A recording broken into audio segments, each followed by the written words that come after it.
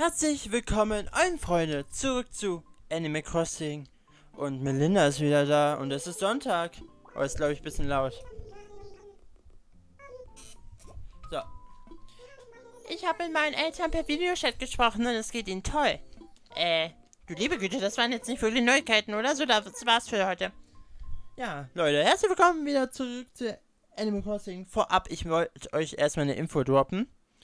Unten in der Beschreibung ist ja mein Twitch-Channel. Ich bin jetzt, sagen wir, fünf, fünfmal die Woche online. Also auf Twitch. Und ich würde mich freuen, wenn du vielleicht vorbeischauen würdet. Äh, wir fangen, wenn die Facecam irgendwann da ist, mit Star Wars Jedi Fallen Order an. Aber das wird wahrscheinlich auch hier auf meinen Hauptkanal kommen. Da freue ich mich mega drauf. Ich wollte das Video jetzt einfach mal so ein bisschen als ähm, Info-Video nutzen. Dann das Video habe ich schon mal aufgenommen, aber da war der da hat mein Mikro nicht aufgenommen. Das war sehr sehr cool. Das war wirklich cool. Deswegen ich habe mir hier auch ein Zettel gemacht. Ich habe mir eigentlich zwei gemacht. Hier habe ich auch noch einen, wo ich dann ein bisschen über die Projekte im März und darauf ein bisschen erzählen werde, was wir machen. Zurzeit herrscht natürlich eine Spieleflaute. Und dadurch, dass ich ja jetzt auch äh, PC-Spiele und sowas sehr, sehr gut aufnehmen kann, äh, werde ich das dann wahrscheinlich dann auch alles machen. Ne? Das Problem im März, es kommt zwar Story of Seasons raus, aber ich habe jetzt schon so viel davon gesehen, dass ich es eigentlich nicht mehr spielen will. Ich weiß nicht. Ich weiß nicht, ob ich spielen möchte. Ich bin mir noch unschlüssig. Ich möchte eigentlich kein Geld dafür bezahlen, weil ich schon das erste Jahr komplett gesehen habe in dem Stream. Ähm und Stardew Valley ist ja halt immer noch besser. Beziehungsweise man kann in Stardew Valley so viel mehr machen. Aber Story of Seasons ist eigentlich auch Liebe für mich, weil ich liebe, ich liebe die alten Harvest Moon Teile. Das sind halt die Entwickler, wie man eigentlich mittlerweile wissen sollte. Ah ja, wir haben außerdem äh, Klebertag. Den Tag des Kobolds oder sowas. Heute. Deswegen habe ich hier schon so ein Outfit. Das gibt es aktuell hier drin zu kaufen. Habe ich mir nämlich heute Morgen schon gekauft. Aber hat halt dann nicht aufgenommen. Hm, wir können trotzdem mal kurz hier reingucken. Beziehungsweise gestern habe ich aufgenommen. Aber dann war ich frustriert und wollte es dann nicht aufnehmen. Deswegen nehmen wir heute auf. Ja. So, deswegen, ich habe ein paar Spiele aufgeschrieben, ja, die wir auf jeden Fall uns anschauen werden. Das wäre einmal, aber es wäre erst im April, Leute, am 6.4. Ein Tag vor meinem Geburtstag. Hier, hier haben wir das Outfit. Sehr cool. Uh, eine Kleeblatt-Sonnenbrille. Die habe ich vorher nicht gesehen. Also gestern nicht gesehen. Uh, die sind echt nice. Oh, kaufe ich. Kaufe ich, nice. Ja, also am 6.4. käme Star Wars Republic Commando raus. Äh, ich weiß nicht, wie viele Videos das werden. Ich weiß auch überhaupt nicht, was das für ein Spiel wird. Aber es kommt, glaube ich, für die Switch und PC raus. Das werden wir auf jeden Fall zumindest antesten. Und wenn, un und wenn uns das Spiel halt gefällt, dann werden wir es auch weiterspielen. Ähm, davon gehe ich aber aktuell noch nicht aus, dass es uns gefallen wird. Aber vielleicht überrascht uns das Spiel einfach. So, dann käme im April noch Pokémon Snap raus. Da seht ihr, erst im April kommen Spiele raus. Äh, deswegen werde ich die Zeit im März nutzen für Jedi Star Wars Fallen Order. Und vielleicht Temtem. Ich warte nur auf ein Angebot von Temtem. Äh, dass ich das mit dem Freund dann zusammenspiele. Dann machen wir ein Together daraus. Das sollte ja, glaube ich, gehen mit Temtem, oder? Ich glaube schon. Da, das würde ich auf jeden Fall sehr gerne noch machen. Weil Nexomon haben wir gespielt, dann müssten wir eigentlich auch Temtem spielen, ja? Was erfolgreicher ist als Nexomon. Oh nee, nee, Misusu, du ziehst nicht aus. Tschüss. Tschüss, tschüss, tschüss. Ähm. Ja, Temtem wäre noch so ein Projekt. Ich hoffe, da ist die Flaschenpost, ich sehe sie. Ich hoffe einfach, dass es in nächster Zeit vielleicht ein Temtem-Angebot gibt. Weil 33 Euro ist mir a little bit too much. Tem äh, Nexomon hat nur 20 gekostet. Wenn es so 25, 22 Euro kosten würde, dann würde ich Temtem kaufen. Aber aktuell noch nicht. aktuell ist es leider noch nicht der Fall, dass ich mich überwinde, das zu kaufen. Ich habe jetzt Star Wars Jedi Fallen Order gekauft. Ist zurzeit im Angebot für 25 Euro die, die äh, Deluxe Edition auf Steam. da kostet das normale Spiel sogar mehr. Glaube 39 oder 49 ungefähr. Ja, das werden wir dann auf jeden Fall spielen, sobald die Facecam da ist. Dann haben wir. Ah ja, zu Pokémon, äh, nicht zu Pokémon, zu Monster Hunter. Das werden wir wahrscheinlich nicht spielen. Zumindest diesen Teil nicht. Denn ich bin nicht sonderlich gut da drin. Ich möchte mich da auch nicht so reinfuchsen.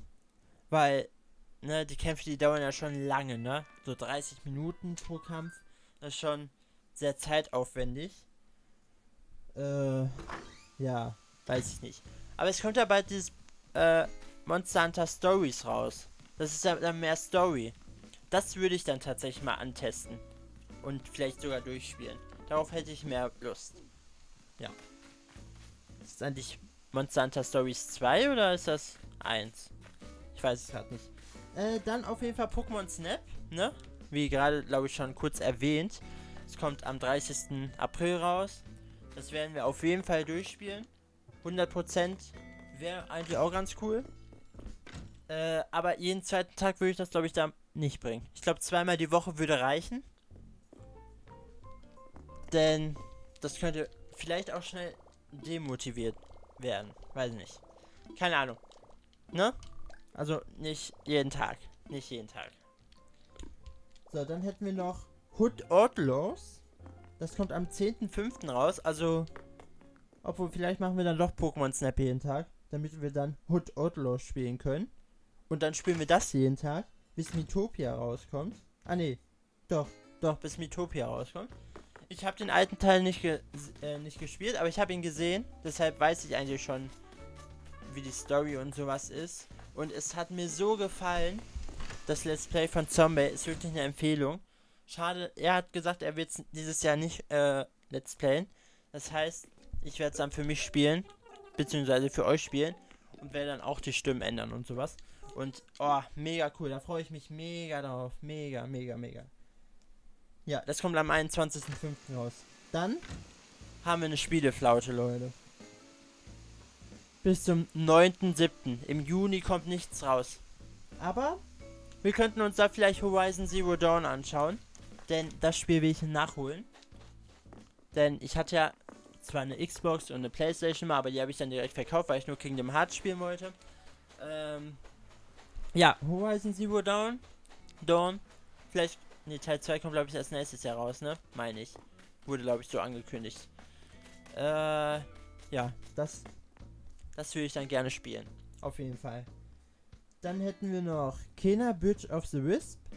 Kommt am 24.08. raus. Aber ich glaube. Ich glaube, es wurde auch weiter nach hinten geschoben, meine ich. Meine ich. Ich bin mir nicht hundertprozentig sicher ne? Hier, meine Hände sind frei vom Feuer. Aber ich glaube, ich glaube, ich glaube, das kommt erst nächstes Jahr. Aber es sieht sehr cool aus. Sieht sehr cool aus. Ich habe keine Angel, sonst würde ich jetzt angeln. Deswegen kaufe ich mir mal eine für das nächste Mal. Ähm, dann, was ich noch spielen möchte, ist das neue Lego Star Wars Spiel. Das soll dieses Jahr eigentlich rauskommen. Aber es gibt noch keine Erscheinungstermin-Öffnungen. Öffnungen. Äh, Gott. Kein, kein Erscheinungsdatum für das Spiel. Und so langsam wird es ja eigentlich auch mal Zeit, ne? Ne, ganz ehrlich. Lego Star Wars, was soll denn das? Ja gut, so. Sonst kommen wir zu den Serien. Äh, ich bin ja immer noch fleißig dabei, Detektiv Conan zu schauen. Ich bin jetzt bei Folge 100, glaube ich. Äh, Crunchyroll hat mittlerweile auch die dritte Staffel schon veröffentlicht. Oh, ich komme überhaupt nicht hinterher. Aber wie soll ich auch 111 Folgen, ja, in einer Woche schaffen, bevor die zweite Staffel kommt? Das sind 44 Stunden, Leute. 44 Stunden. Das wären zwei Tage. Zwei Tage. Plus Uni. Das, das hätte ich nie geschafft, Leute. Hätte ich nicht geschafft. Nee. Ja, da bin ich gerade dran. Sonst kommt. Sonst. Leute, es ist eine Serienflaute. Flaute. Ich muss noch warten. Also am 26.03. kommt endlich wieder eine Serie raus, die, auf die ich mich freue. The Magicians, Staffel 5. Ist Harry Potter in sehr, sehr, sehr, sehr brutal. ja, und mega cool. Ist wirklich cool. Es gefällt mir wirklich sehr. Es macht mega Spaß. Ich glaube, ich hatte eine Angel schon vorher. Ähm, dann Supergirl kommt am 30.03. raus. Staffel 6. Da bin ich auch mega gehypt. Das ist nämlich die letzte, die letzte Staffel von Supergirl. Werde ich mir wahrscheinlich wieder auf Amazon kaufen, wie jedes Jahr. Oder ich warte auf die deutsche Vertonung, aber es dauert immer so lange. Es dauert wirklich lange. So, ausrüsten. Und guck mal, was es hier für, für Fischis gibt. Dann kommt am 26.03. noch äh, die Bande aus der Baker Street. Wenn das so ähnlich wie Enola wird, ja, Enola Holmes, dann bin ich auf jeden Fall gehypt. Also ich freue mich auf die Serie. Ich glaube, es ist eine Serie. Ich hoffe einfach, es ist eine Serie. Und kein Film. Ich bin kein Fan vom Film. Ne? Ich hoffe einfach. Ich hoffe es wirklich. Ich hoffe es. ja. Sonst war es das tatsächlich mit der Serienflaute, ne? Riverdale schaue ich halt noch immer noch aktuell. Die letzte Folge hat mir sehr gefallen. Die war sehr gut. Äh, Yashahime ist auch mega spannend mittlerweile. Boruto. Oh, ich muss Boruto heute noch schauen. Und Vixos. So eine Kartenserie ist auch immer sehr, sehr spannend, finde ich. Obwohl die Staffel ist nicht ganz so gut. Ist nicht ganz so gut wie die anderen vier. Aber es kann nicht jede Staffel gut sein, Leute. Es muss auch mal eine schlechte geben, damit die anderen sich abheben können. Siehe Digimon. Nein, ich habe A gedrückt. Ich habe A gedrückt. Ich habe A gedrückt. Kacke. Ich wollte noch irgendwas sagen zu einer Serie, aber ich. Mir, mir fällt es gerade nicht ein. Und wieso ist eigentlich dieses, das hier so komisch? Das, das müsst ihr eigentlich auch mal hier ändern, oder? Sieht so komisch aus. Du liebe Zeit. Ja, ich weiß, Misuzu, du willst abhauen, aber ich lass dich nicht gehen. Es tut mir leid. Ich habe erst neulich wieder einen Kommentar über dich bekommen. Oh, er wusste einfach nichts über Misuzu. Ja, ja, ich weiß, weiß auch nicht. Aktuell weiß ich ja über deinen Seltenheitsstatus. Aber dass du so selten bist, das fasse ich nicht. Das fasse ich wirklich nicht. Was ist echt schon mit den Serien?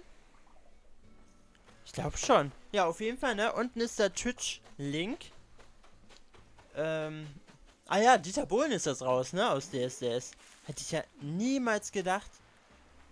Und Bruce Danell ist auch aus das Supertalent raus. Und ich bin mal gespannt, wie tief die Quoten sinken werden nächstes Jahr. Beim Supertalent und bei Superstar. Und, und wie viele da jetzt überhaupt noch teilnehmen. Weil ich könnte mir schon vorstellen, dass man da nur teilnimmt, weil man Dieter mal kurz sehen will. Und eine Meinung von Dieter haben will. Ich kann mir das noch ohne Dieter überhaupt nicht vorstellen. Ich bin ja auch der ich bin auch der Meinung, ne, die letzten Staffeln waren halt wirklich meh. Die waren meh, die waren nicht cool, die waren kacke. Es wird alles gekürzt. Siebte Staffel war für mich persönlich die beste, als sie da noch Challenges hatten, wie mit Schlangen singen oder auch äh, Kopf über singen. Fand ich mega cool damals. Und ja, ja gut, Leute. Ne? Trash TV, ja. Aber Love Island ist ja wieder, findet ja wieder statt. Ich bin immer noch dabei, die erste Folge mal endlich durchzuschauen, weil, ne, das ist Trash TV, was ich mag. Und so Voice Kids ist mega cool. Ich habe das Gefühl, dieses Jahr sind viel, viel, viel, viel bessere Kinder, also bessere Stimmen dabei als die ganzen Jahre davor. Und die Coaches, die haben jetzt nicht so das Gegeneinander, sondern wirklich das Miteinander. Die singen dann gemeinsam. Die haben richtig Spaß bei der Arbeit diesmal. So, so sehe ich das. Die singen die ganze Zeit. Wirklich. Die kämpfen wirklich extrem. Extrem um die Kids. Das gefällt mir mega gut. Es macht mir so viel Spaß, das zu schauen. Das ist die beste Staffel für mich. Bis, bis jetzt zumindest. Ne? Irgendwann kommt wahrscheinlich noch eine bessere. Aber das sehen wir dann. Ne, Leute? Ich möchte jetzt nicht lange um den heißen Brei äh, reden, ne? Unten ist der Twitch-Link. Ich würde mich freuen, wenn ihr mal vorbeischaut. Meistens so von 16 Uhr bis 17.30 Uhr ungefähr, eine Stunde und eine halbe. Und am Wochenende morgens früh mal um halb neun bis halb elf. Pokémon gibt es da zumindest immer. Am Samstag und Sonntag, ne?